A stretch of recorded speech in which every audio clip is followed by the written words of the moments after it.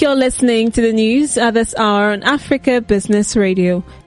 The Central Bank of Nigeria has said all successful applicants that have submitted their account details for the COVID-19 targeted credit facility should expect to be credited within 48 hours. The Director, Corporate Communications of CBN, Isaac Okoroafor, disclosed this in a statement on Monday. According to the CBN, the applicants are households and small and medium enterprises hit hard by the COVID-19 pandemic.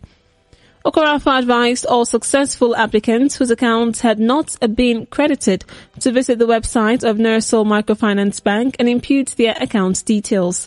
He noted that the CBN had waived the requirements for the provision of guarantors by households and small and medium enterprises applying for the facility worth 50 billion naira.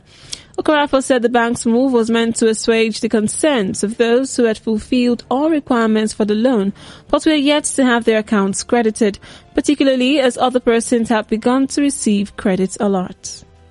And that was the news at this time on Africa Business Radio. You can continue to listen live online at www.africabusinessradio.com or via our mobile app. Thank you for listening.